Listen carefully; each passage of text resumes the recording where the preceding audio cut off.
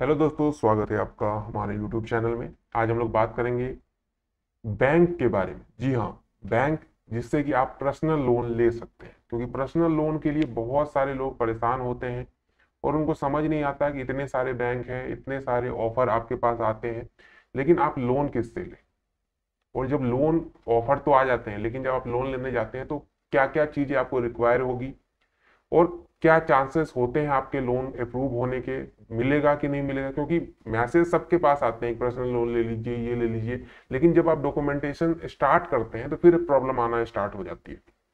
तो वहाँ पे कौन कौन से बैंक आपको फ़ायदे दे सकते हैं, उसकी पूरी जानकारी यहाँ पे मिलेगी। तो चलिए वीडियो की शुरुआत करते हैं। उससे पहले चैनल पे नहीं तो चैनल को सब्सक्राइब और वीडियो को लाइक कर दीजिए। सबसे पहले बात करते हैं कि जब आप कोई भी लोन लेते हैं, चाहे वो पर्सनल हो, चाहे एजुकेशन हो, चाहे आपका होम लोन हो, कार लोन हो तो आपको क्या क्या चीज़ों की रिक्वायरमेंट क्या क्या चीज़ आपको सबसे पहले देखनी चाहिए? सबसे पहले जो आप लोन ले रहे हैं, उसका इंटरेस्ट रेट क्या है? क्योंकि ये जो इंटरेस्ट रेट होता है कभी कभी फिक्स्ड इंटरेस्ट रेट पे आप लोन लेते हैं कभी कभी फ्लेक्सिबल होता है। टाइम टू टाइम वो चेंज भी होता है तो इन चीज़ों का आपको ध्यान रखना चाहिए। कि आप फिक्स रेट पे ले रहे हैं या फ्लेक्सिबल रेट पे ले रहे हैं या जो भी रेट आपको मिल रहा है, वो क्या है? ऐसा नहीं कि आपने लोन ले लिया जल्दबाजी में और आपका जो इंटरेस्ट रेट है वो 30 परसेंट, पैंतीस परसेंट, यहाँ तक कि अभी तो 36 सैंतीस परसेंट तक भी जा रहा है, जो आप प्राइवेट ऐप से लोन लेते हैं। तो वहाँ पे आप अगर एक हज़ार रुपये लेते हैं तो उस एक हज़ार को चुकाने में आपको दो हज़ार रुपये खर्च हो जाते हैं।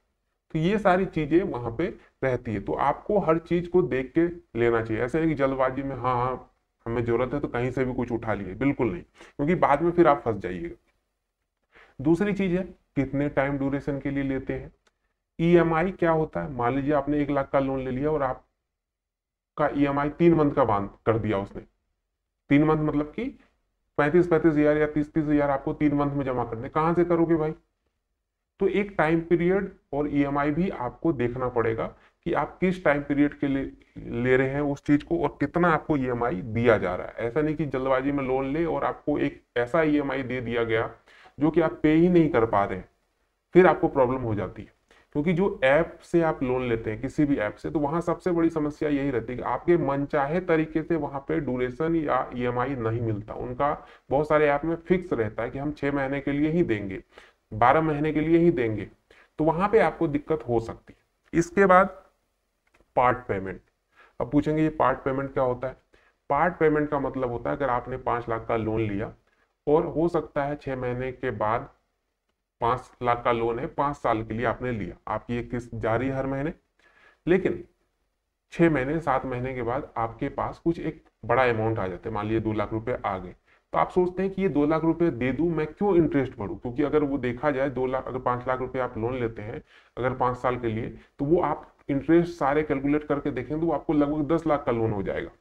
दस लाख रुपए आप टोटल उसको पे करेंगे मतलब डबल तो उस स्थिति में लोग क्या करते हैं कि कुछ पैसे जमा करके बीच में दे देते हैं कि भाई, जो मेरा प्रिंसिपल अमाउंट है यानी मूलधन है, उससे इस पैसे को काट लो। तो उसको बोलते हैं पार्ट पेमेंट पार्ट पेमेंट से फ़ायदा ये होता है कि अगर आपने छह महीने साल भर जब आपको मजबूरी है तो आपने लोन लिया और आपके पास पैसे आ गए तो आपने उस पैसे को जमा कर दिया।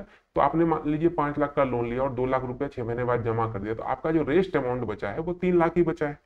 उस पर आपको इंटरेस्ट देना होगा। तो एक फ़ायदेमंद चीज़ हो जाती है ये। तो ये पार्ट पेमेंट वो अलाउ करते हैं कि नहीं करते? कितने टाइम के बाद आप पार्ट पेमेंट कर सकते हैं? साथ साथ अगर आप पार्ट पेमेंट करते हैं तो क्या कुछ एक्स्ट्रा चार्ज भी आपको देना पड़ रहा है? बहुत सारे जो प्राइवेट सोर्स होते हैं, जहाँ से आप लोन लेते हैं, वो क्या करते हैं? तीन परसेंट, चार परसेंट, पाँच परसेंट तक एक्स्ट्रा लेते हैं। अगर आपने दो लाख रुपए जमा किया तो दो लाख आठ हज़ार रुपए आपको जमा करने पड़ेंगे दो लाख कटवाने के लिए।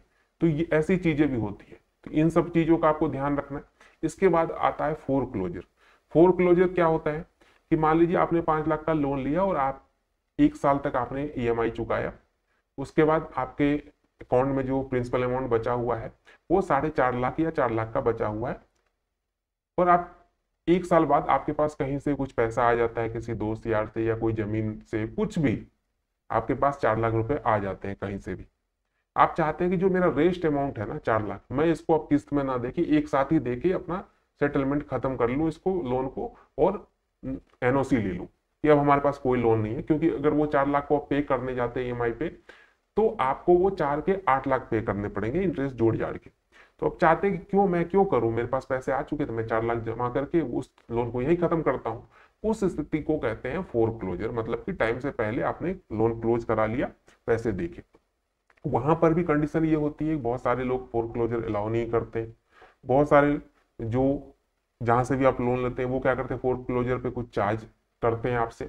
तो बहुत सारी चीज़ें, इन सब सारी चीज़ों को आपको समझ के लोन लेना चाहिए, ठीक है? अब ये चीज़ें हो गई। अब बात करते हैं इंटरेस्ट रेट अभी जो फ़िलहाल का इंटरेस्ट रेट है, वो ये आप चार्ट देख सकते हैं। इसमें हर बैंक का अलग अलग चार्ज है। और ये नहीं कि ये इतना ही पे आपको मिलेगा, ये 20-25 परसेंट तक भी चला जाता है, ठीक है? कभी कभी आप नॉर्मल ऐप वैप से लेते हैं तो छत्तीस परसेंट तक भी जाता है मतलब हर महीने का तीन परसेंट तक लेके चला जाता है। जिन लोगों ने भी लोन लिया होगा, उनको पता होगा ये सारी चीज़ें। तो ये सिर्फ़ मिनिमम है, इससे कम में नहीं मिल सकता है इससे हाई कुछ भी जा सकता है। तो ये एक बार आप चार्ट देख लेंगे। अब बात करते हैं सिविल स्कोर का क्या रोल रहता है। देखिए लोन में सिविल स्कोर बहुत ही ज़रूरी होता है। अगर आप किसी भी गवर्नमेंट बैंक या बैंक में जाते हैं तो सबसे पहले पर्सनल लोन के लिए मैं बता दूँ, आपकी सैलरी अच्छी खासी होनी चाहिए। बैंक में सैलरी आनी चाहिए और लगातार तीन या छह महीने का सैलरी आपको दिखना चाहिए वहाँ पे। ऐसे नहीं कि आपने अभी ज्वाइन किया, एक महीने की सैलरी आई और लोन लेने चले गए। नहीं देगा कोई लोन आपको। सिंपल सी बात है। कोई लोन आपको देने वाला नहीं है। तीन से छह महीने, हर बैंक का अपना क्राइटेरिया होता है। मिनिमम तीन महीने का तो आपको सैलरी आपके अकाउंट में दिखने ही चाहिए और एक फिक्स सैलरी। अगर आपकी पच्चीस हज़ार तीस हज़ार सैलरी है तो हर महीने उतने ही दिखने चाहिए। ऐसे नहीं कि किसी मंथ पंद्रह हज़ार आ गया किसी मंथ आपके तीस हज़ार आ रहे हैं तो वो काउंट नहीं होता। वो मिनिमम वाला ही काउंट करेगा। ये बात जान के चलिए आप। तो ये चीज़ें हैं। सिविल स्कोर आपके अच्छे होने चाहिए। बार बार जो आप आ, अपना सिविल स्कोर चेक करते हो उससे भी सिविल डाउन होता है। ये सब चीज़ें नहीं कर सकते आप। बहुत सारी चीज़ें आपको ध्यान में रखनी है। अब तो ये हो गई पूरी प्रोफेशनल बातें। अब जो मुद्दे की बात है। कि क्या लोन मिलता है? प्रश्न बिल्कुल मिलता है। मैंने भी कई जगह से लिया है। लेकिन उसके लिए कुछ रूल रेगुलेशन होते हैं। जैसे अगर आप बैंक से जाके लोन लेते हैं तो जिस भी कंपनी में आप काम कर रहे हैं, सबसे पहली चीज़, अगर गवर्नमेंट है तो बहुत अच्छी चीज़ है। गवर्नमेंट नहीं है तो प्राइवेट लिमिटेड होनी चाहिए। तभी आपको लोन मिलेगा, नहीं तो नहीं मिलेगा। अगर आप चाहते हैं कि कोई प्राइवेट कंपनी में ऐसे प्रोपराइटरशिप कंपनी है, उसमें काम करके आप किसी भी बैंक से लोन ले ले तो बहुत मुश्किल नहीं देगा आपको लोन साथ साथ सैलरी भी आपकी पैंतीस चालीस हज़ार प्लस होगा तभी आपको मिलेगा। ठीक है? हाँ अब बात करते हैं प्राइवेट जैसे कि बजाज हो गया फुलट्रॉन है आ, हीरो का है आजकल हीरो फाइनेंस भी करती है। यहाँ से अगर आप लेते हैं तो ये लोग प्रोपराइटरशिप में भी दे देती है। लेकिन सिविल स्कोर ठीक ठाक होना चाहिए। तो ये सारी लेकिन यहाँ पे आपको इंटरेस्ट रेट ज़्यादा मिलेगा।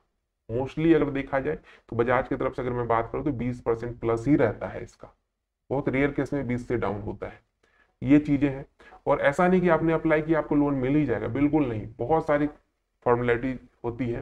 अगर आपका कोई जुगाड़ है, कोई है पर्सनल में बात बता रहा हूँ तो तभी आपको ये चीज़ें मिलेगी। तो एक बार जब भी लोन ले, जितनी भी चीज़ें मैंने बताई, उसको आप अच्छे से समझे। ऐसे नहीं कहीं भी अप्लाई कर रहे हैं, किसी भी हाँ एक चीज़ और होता है, अगर आपने कहीं पे अपना नंबर मेंशन कर दिया कि मुझे लोन की नीड है तो आपको दिन में दस कॉल आएँगे। तो गलती से भी किसी को भी अपने डॉक्यूमेंट्स ना दे, बिल्कुल भी। अगर जब भी करें तो खुद से किसी ऐप को इंस्टॉल करके अप्लाई करें, या कोई आपका जानकार है किसी कंपनी में बजाज या इन सब कोटेक में, किसी बैंक में काम कर रहा है तो उनसे पर्सनली मिलके ही लोन की बात करें। ये फ़ोन पे कि हाँ हम फलाने से आपको फ़ोन लोन दिला देंगे। वो बिल्कुल ना करें। वहाँ पे क्या होती है? वो तुक्के में काम करते हैं।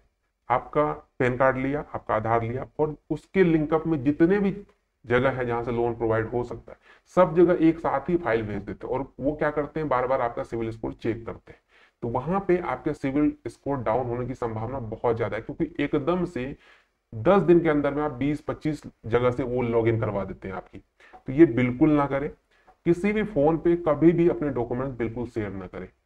जब भी लोन लेने की बात हो तो डायरेक्ट बैंक में जाए, वो आपको सारी चीज़ समझा देंगे। वहाँ आपका नहीं होता है तो किसी भी, जो भी प्राइवेट वाले हैं, उनके कस्टमर केयर नंबर से बात कीजिए, वो आपको रेफरेंस दे देंगे। या वो भी नहीं होता तो कहीं पे हर, आजकल हर क्षेत्र में ऑफ़िस होते हैं, वहाँ जाके मिल लीजिए, कोई नोन है, किसी ने पहले लिया है, उनसे बात कर लीजिए, तभी ये सारी चीज़ें कीजिए फ़ोन पे कभी नहीं, ठीक है?